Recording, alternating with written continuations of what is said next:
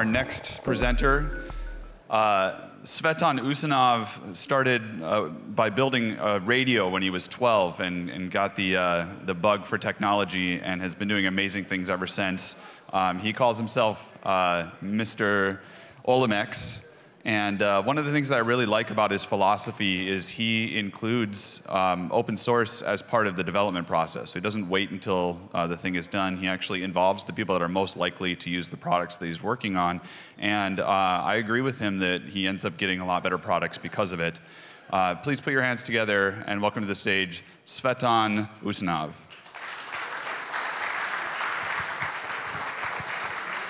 Hi. My name is Tsvetan. Uh, I found on Olimex in Bulgaria. We are neighbors. And today I will speak about one idea we got recently. Hackers friendly, open source hardware, do-it-yourself modular laptop. Who am I? Olimex is already 25 years old company. I made it when I graduated Technical University in Plovdiv.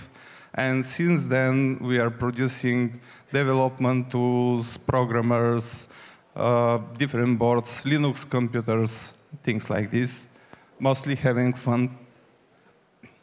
We have about 600 different products on our web page, and about half of them are with open source hardware license. Uh, we, we got distributors in many countries. You, you, can see Mouser, Digi-Key, all big catalog companies selling our products, which means that even if you open your spe specs and people can study your boards or even produce them, it's still a workable business model and it doesn't uh, prevent to, to do business this way. Okay, why bother developing open source hardware, do-it-yourself laptop at all. Uh, this is the laptops I used in the years. You can see it's quite a pile of them. You can see here Asus, Bank, Compaq, Toshiba, Sony Vaio, Fujitsu Siemens, and they don't work for one or other reason. Sometimes this reason is very small. For instance, the Sony Vaio had problems with the charging. One small power supply connector got broken, and since then I cannot use this laptop just because one connector is broken. And it's absolutely uh, non-repayable. Sony made it this way that once you open it, you barely can close it in the same state you, you had when you open it. I opened the laptop to exchange the power supply and I broke those two speakers because they have been assembled in this way that when you open the laptop, they get broken. Uh, this Toshiba you see there, I just drop it on the floor and the display gone. And when I searched the display, it was cost something like half of the price of the new laptop. So the vendors don't want you to repair the laptops. They, they want you to, to buy a new one. And sometimes very small things make the use of this laptop impossible. And you, you see, with the years, you collect 10 different laptops, you spend a lot of money, and these laptops are mostly in good shape, but you cannot use them for some small, small details. For instance, uh, they get new software needs more powerful processor or more memory, and you cannot change just the, the main board. You have to buy a new laptop. Or the battery, after a few years of use, lost its capacity, and the laptop start working only 15 or 10 minutes, and it, it's no sense to use this laptop. But when you start looking for battery, you cannot find the same model because every different vendor makes different battery pack, incompatible each other. So you have to buy again a new laptop. Or if you just break few keyboard keys, like my son who, who is uh, like to play games, and for, for two or three keys you have to to, to change the laptop because you cannot exchange them. So, vendors make them hard to repair and they just want you to buy a new one. And I decided this must stop. I cannot, I cannot con continue like this. You, you just waste your money on laptops and every couple of years you have to buy a new, new model. Why, why should we do this? And I said, let me check if somebody else already had this idea and made something like this to not start from the scratch. And I, I Googled uh, do-it-yourself laptop, and this is what I found. The pizza box laptop or this nice wooden laptop. And uh, basically, I cannot use this. I need something, something else. And then I decide, oh, this is pro probably most popular uh, open source laptop, Novena. But as you see, it still doesn't look so good. It's because Bunny, who, who made this laptop, he is good electronic engineer, but he's not good, obviously, mechanical designer. And uh, he's trying to do everything by himself. So, why not making one laptop ourselves? And I started with the wish list. I, I know that every of you will have different thoughts, different motives, different uh, preferences, but at least for me, one laptop has to be light because I travel a lot and I don't, I don't need three or four or five kilogram laptop. I, I need something under one kilogram. And I want to use the battery all day long. I want to charge it at night and then whole day to, to run on battery without any problems and the processor must run all the software I use without delay. I, I, I want to work with this laptop, not just to browse uh, some stuff on the internet. And I want it to be good and stylish because this is something which I will carry with me. It, it cannot be like uh, um, just secure box or something like this. And of course, I want it to be open source. So if somebody else wants to make something which up to his preferences, to may look at our files, change, modify, and make his own version. And of course, to be modular. Why? Because if this processor got obsolete or I need new power, I want to just replace the motherboard, not the whole uh, plastics and, and everything it has to be very easy to repair and upgrade. It, it, has to be very simple. Even kit has to be able to assemble it. And of course, there, there must be a low-cost spare parts. If uh, three keys got broken, I buy just three keys for $3 and replace them.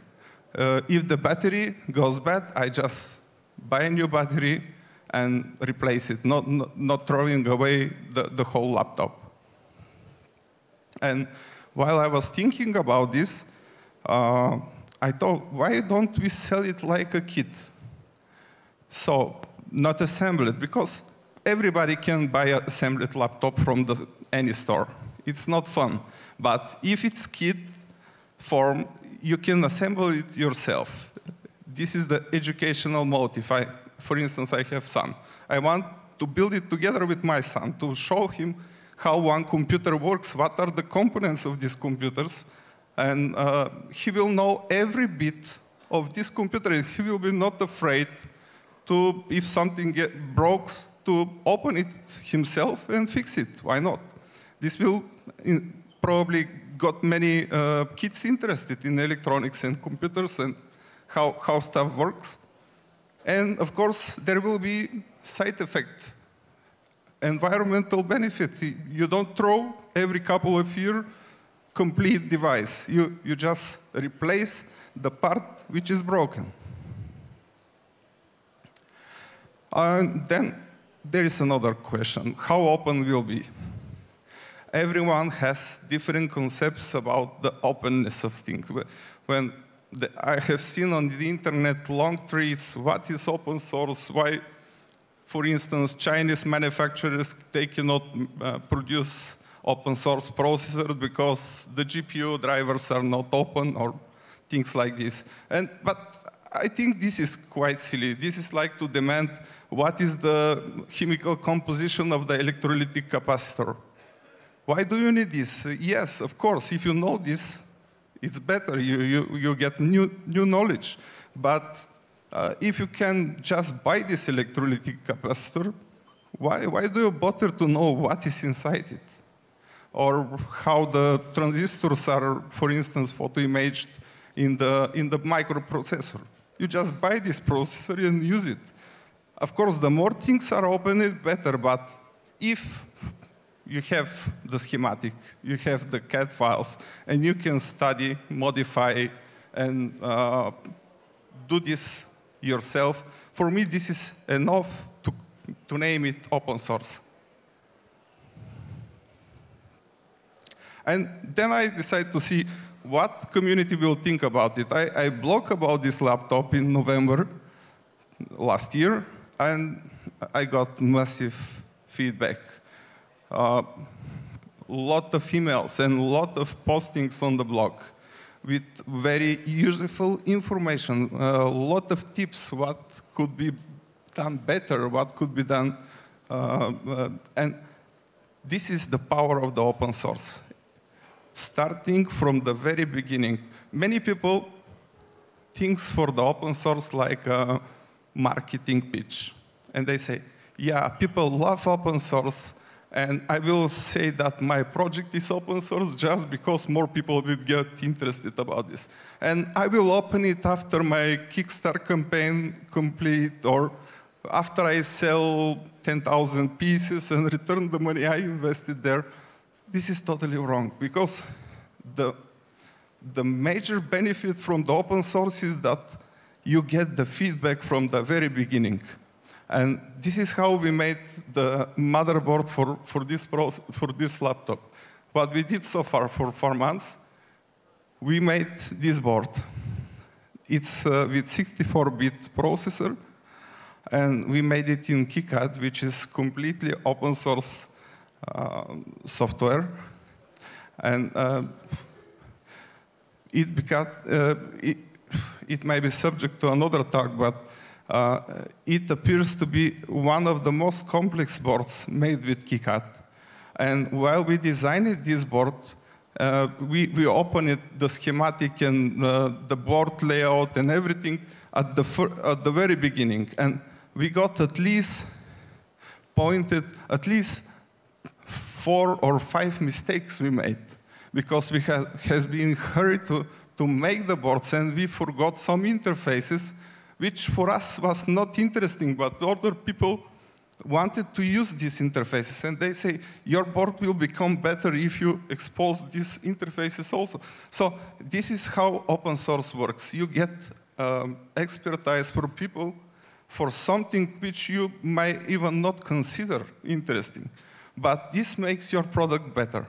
And uh, in February, there is a FOSDEM in Brussels. This is maybe the biggest event for open source uh, software in, uh, in, Europe.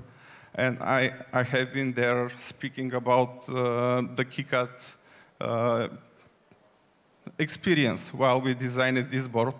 And on the same conference, there was uh, Clifford who, who made a totally open source toolchain for Lattice FPGAs.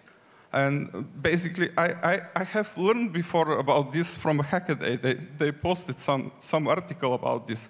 But uh, I didn't know how, how, how much was the progress on this project. And when I saw what Clifford made, I said, this is a good add-on for all laptop because it's a complete open source toolchain. We can run on the board and we can uh, make a small board with this FPGA which to attach to the laptop and this will open a new opportunities uh, for making the laptop like logic analyzer or uh, like digital storage oscilloscope or direct uh, digital synthesizer. and uh, this will make this laptop even more hacker friendly because you, you get your lab in your laptop. We, we got about, uh, about the mechanical parts, we, we made the progress. We selected plastics which are nice from manufacturer. Uh, we learned a lot while designing the boards to fit inside the laptop.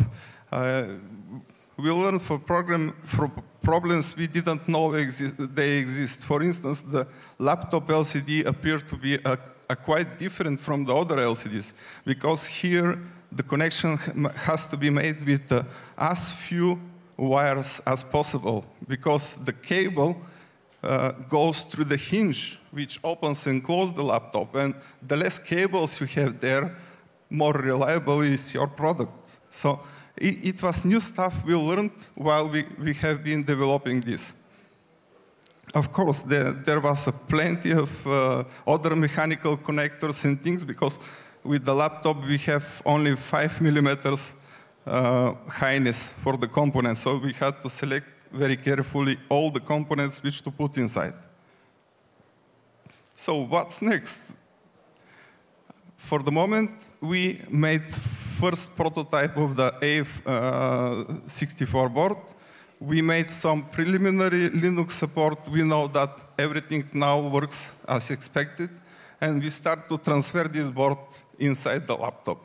And I hope uh, in July to have our first working prototype which to show to TuxCon. TuxCon is local Plovdiv conference for open source uh, hardware and software, and uh, it's made uh, by seven enthusiasts. Few of them are somewhere here in, in this room. And on this conference, I, I, invited also Edmund uh, Humenberger, who, who is one of the guys who works in this uh, open source toolchain for the FPGA. So uh, there we, we are going to run also some workshops with the FPGAs together with Edmund. Then we have to make some extensive tests to, to see how it works, to, to make improvements on the mechanics, ele electrical parts and things like this. And hopefully we will have a laptop ready by September. As you see, it's a very, very long, almost one year since the initial idea to probably the, the release. And when I blocked in November, and I started getting every, every week some emails from impatient people and say, hey, I broke my laptop, I want to buy yours. when you will release it? And I say, guys, this is just idea. We, we just blocked a couple of weeks ago about it. We cannot complete final products for, for two weeks or something like this. So it, it's a long path.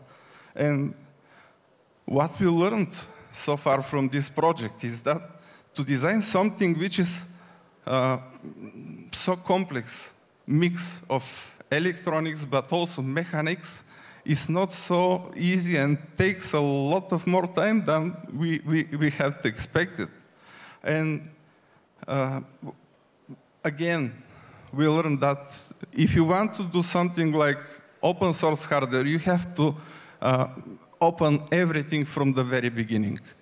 Uh, many people are afraid to open their design at the beginning and they think that if they publish the schematic, immediately some Chinese company or some bad guys will start copy their product and they will release it before them and they will not never return the money they put in the design. This is not true. On my blog, I have trackback.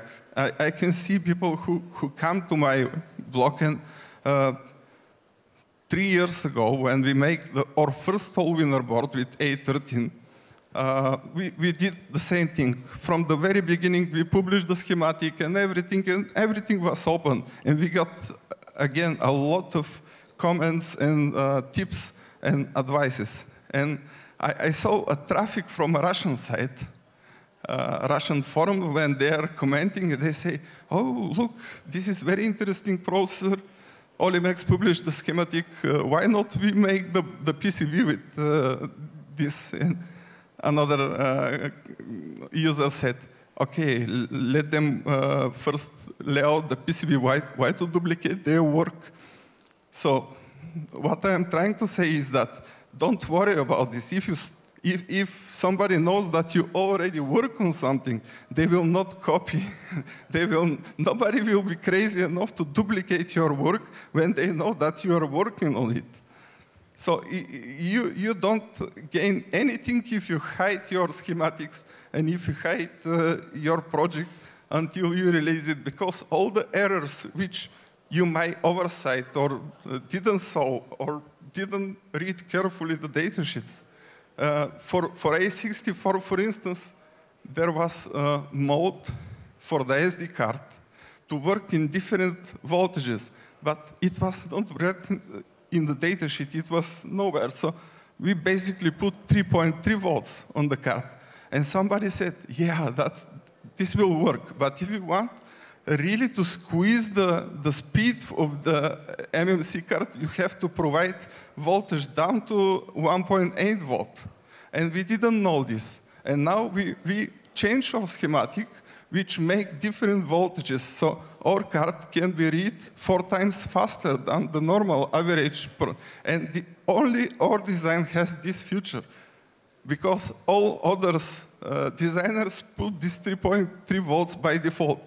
They, uh, like us, didn't know this. But when many people look at your design and everyone has some expertise in his field, he can give you back feedback and to, to tell you how to improve your product and how to make it better. And now I know that our product is better because we open it from the very beginning to many people to see and give us feedback. So, questions? The, the price?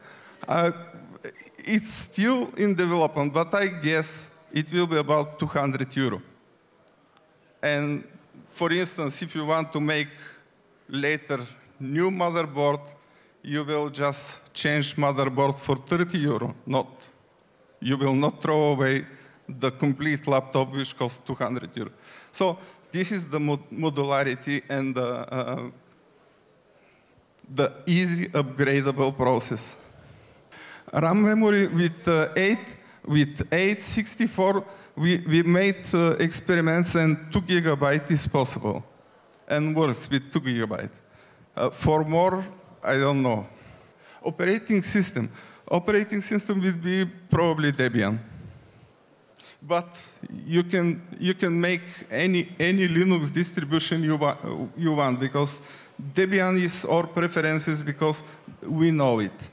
But you can make Ubuntu, you can make any, any other system you, you're interested in. Okay? If this is everything, thank you.